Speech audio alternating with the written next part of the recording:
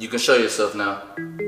What? Know in the room? Easy. There are about 815,000 molecules in your average room. In this room, there are 1.8 million molecules. Each molecule shifts precisely one centimeter squared of an inch to the left every five minutes. I walk into the living room every two hours and 15 minutes when the molecules shift to the right.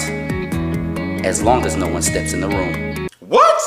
Hell no. That's not it. You can show yourself as well.